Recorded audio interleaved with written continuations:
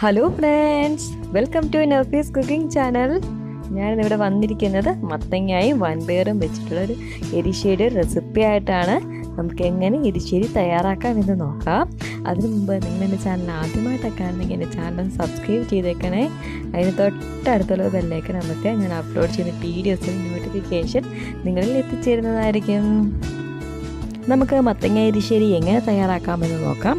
മത്തങ്ങ അരിശീര് തയ്യാറാക്കാൻ വേണ്ടി ഞാനിവിടെ കുറച്ച് മത്തങ്ങ വൃത്തിയാക്കി അരിഞ്ഞ് എടുത്ത് വെച്ചിട്ടുണ്ട്. പിന്നെ കുറച്ച് വൻപയർ രണ്ട് മണിക്കൂർ വെള്ളത്തിൽ കുതിർത്ത് എടുത്ത് വെച്ചിട്ടുണ്ട്. പിന്നെ നമുക്ക് അരപ്പിന് വേണ്ടി കുറച്ച് തേങ്ങ ഇവിടെ ചിരകിയത് എടുത്ത് വെച്ചിട്ടുണ്ട്. നമുക്കാദ്യം വൻപയർ വേവിച്ചെടുക്കാം. വൻപയർ വേവിച്ചെടുക്കാൻ വേണ്ടി ഞാൻ വൻപയർ കുക്കറിലേക്ക് ഇട്ട് കൊടുത്തിട്ടുണ്ട്. ഞാൻ അതിലേക്ക് ഒരു ഗ്ലാസ് വെള്ളം ഒഴിച്ചു കൊടുക്കുകയാണ്. ഇനി നമുക്കിതൊരു മൂന്ന് ഫിസിൽ അടുപ്പിച്ചെടുക്കാം. ഞാൻ വേറെ മൂന്ന് വിസിൽ അടുപ്പിച്ചെടുത്തിട്ടുണ്ട്. നന്നായിട്ടൊന്നും വെന്തില്ല. ഞാൻ അതിലേക്ക് വരിഞ്ഞു വെച്ചിരിക്കുന്ന മത്തങ്ങയും കൂടെ ഇട്ട് വേവിച്ച് കൊടുക്കുകയാണ്. ഒരു രണ്ട് വിസിലൂടെ അടുപ്പിക്കുകയാണ്. ഇപ്പം മൺപേറും മത്തങ്ങ എല്ലാം നന്നായിട്ട് വെന്ത് കിട്ടിയിട്ടുണ്ട്. നമ്മൾ വൻപയർ മാത്രം വേവാൻ വേണ്ടി ഒരു അഞ്ച് ഫിസിൽ അടുപ്പിക്കണം. ഞാനിവിടെ മൂന്ന് ഫിസിൽ അടുപ്പിച്ചതിന് ശേഷം മത്തങ്ങയ്ക്ക് വേവ് കുറവല്ലേ? അതുകൊണ്ട് മത്തങ്ങയും കൂടി ഇട്ടതിന് ശേഷം രണ്ട് ഫിസിലൂടെ അടുപ്പിച്ചപ്പം നമ്മുടെ മത്തങ്ങയും വെന്തു. നമ്മുടെ വൻപയറെല്ലാം നന്നായിട്ട് വെന്തിട്ടുണ്ട്. ഞാൻ വൻപയറും മത്തങ്ങയും ഒരു പാനിലേക്ക് ഇട്ട് കൊടുത്തു. ഇനി നമുക്കിതിലേക്ക് വേണ്ടിയുള്ള അരപ്പരയ്ക്കാം അരപ്പരയ്ക്കാൻ വേണ്ടി ഞാനൊരു മിക്സിയുടെ ചെറിയ ജാറിലേക്ക് മൂന്ന് ചെറിയ ഉള്ളി ചേർത്ത് കൊടുത്തു. പിന്നെ അതിലേക്ക് ഞാൻ മൂന്ന് വെളുത്തുള്ളി ചേർത്ത് കൊടുത്തു. രണ്ട് പച്ചമുളകും ചേർത്ത് കൊടുത്തു. ഇനി ഞാൻ ഇതിലേക്ക് അര ടീസ്പൂൺ ചെറിയ ജീരകം കൂടെ ചേർത്ത് കൊടുക്കുകയാണ്. ഇനി നമുക്കിതിലേക്ക് ആ ചിരകി എടുത്ത് വെച്ചിരിക്കുന്ന തേങ്ങയും കൂടെ ചേർത്ത് കൊടുക്കാം. ഞാൻ ഇതിലേക്ക് ഒരു അര ടീസ്പൂൺ മഞ്ഞൾപ്പൊടിയും കൂടെ ചേർത്ത് കൊടുത്ത്. ഇനി നന്നായിട്ട് അരച്ചെടുക്കുകയാണ്. നമ്മുടെ മത്തങ്ങായും വേറൊക്കെ ഒന്ന് ചൂടായി വന്നിട്ടുണ്ട്. ഇനി നമുക്കിതിലേക്ക് അരച്ച് വെച്ചിരിക്കുന്ന അരപ്പൂടെ ചേർത്ത് കൊടുക്കാം. നമുക്കിതിലേക്ക് ആവശ്യത്തിന് ഉപ്പ് ചേർത്ത് കൊടുക്കാം.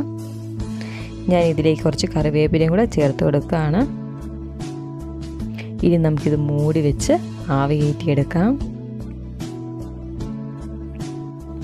നമ്മുടെ അരപ്പൊക്കെ ഒന്ന് ആവി കയറി വരുന്ന സമയത്തേക്ക് നമുക്ക് എരിശ്ശേരിക്ക് വേണ്ടിയുള്ള കടുക് താളിക്കാം. കടുക് താളിക്കാൻ വേണ്ടി ഞാൻ ഈ പാനെടുപ്പ് വെച്ചിട്ടുണ്ട്. ഞാൻ അതിലേക്ക് രണ്ട് ടേബിൾ സ്പൂൺ വെളിച്ചെണ്ണ ഒഴിച്ചു കൊടുക്കുകയാണ്. നമ്മുടെ എണ്ണയൊക്കെ നന്നായിട്ട് ചൂടായി വന്നിട്ടുണ്ട്. ഞാൻ അതിലേക്ക് ഒരു അര ടീസ്പൂൺ കടുക് കൂടെ ചേർത്ത് കൊടുക്കുകയാണ്.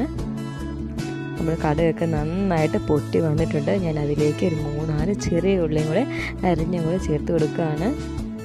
നമുക്കിതെല്ലാം കൂടെ നന്നായിട്ട് മൂപ്പിച്ചെടുക്കണം. നമ്മുടെ എരിശ്ശേരിക്ക് മെയിനായിട്ട് ടേസ്റ്റ് കൊടുക്കുന്നത് ഈ കടുക് താളിക്കുന്നതിലാണ്. ഇനി നമുക്കിതിലേക്ക് ഒരു മൂന്നാൽ വറ്റൽമുളകും കൂടെ ചേർത്ത് കൊടുക്കാം. ഇനി നമുക്കിതിലേക്ക് കുറച്ച് കറിവേപ്പിലയും കൂടെ ചേർത്ത് കൊടുക്കാം. ഇതെല്ലാം കൂടെ നന്നായിട്ട് മൂപ്പിച്ചെടുക്കുക.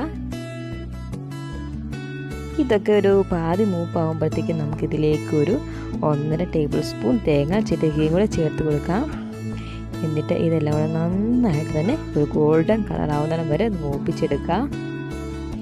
നമ്മുടെ തേങ്ങായും ഉള്ളിയും എല്ലാം നന്നായിട്ട് മൂത്ത് വന്നിട്ടുണ്ട്. ഇനി നമുക്ക് ഗ്യാസ് ഓഫ് ചെയ്യാം.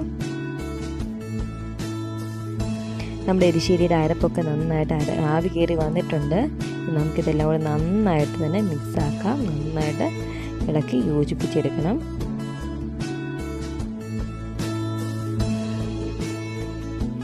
നമ്മൾ നന്നായിട്ട് തന്നെ ഇവിടെ ഇളക്കി യോജിപ്പിച്ച് വെച്ചിട്ടുണ്ട്. ഇനി നമുക്കിതിലേക്ക് ആ കടുക് താളിച്ചും കൂടെ ചേർത്ത് കൊടുക്കാം.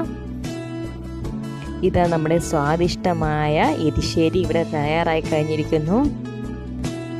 നമുക്ക് ഈ എരിശ്ശേരിയും കൂട്ടി വയറ് നിറയെ ചോറുണ്ണാം അതുപോലെ ടേസ്റ്റിയാണ് നിങ്ങളെല്ലാവരും തന്നെ എരിശ്ശേരി വെക്കും വെക്കുന്നവരായിരിക്കും. പക്ഷേ ഇതുപോലെ കടുക് താളിക്കുന്നതിലാണ് എരിശ്ശേരിക്ക് മെയിനായിട്ടും ടേസ്റ്റ് കിട്ടുന്നത്. നിങ്ങളെല്ലാവരും തന്നെ ഇങ്ങനെ ഒന്ന് ട്രൈ ചെയ്ത് നോക്കുക. പിന്നെ നിങ്ങൾക്ക് എന്റെ ഈ വീഡിയോ ഇഷ്ടമായെങ്കിൽ നിങ്ങൾ ലൈക്ക് ചെയ്യണം. അതുപോലെ തന്നെ ഷെയർ ചെയ്ത് ഇങ്ങനെ കൂട്ടുകാരുടെ എത്തിച്ചു കൊടുക്കുക. പിന്നെ എന്റെ ഈ ചാനൽ സബ്സ്ക്രൈബ് ചെയ്യാത്തവരൊന്ന് സബ്സ്ക്രൈബ് ചെയ്തേക്കണേ.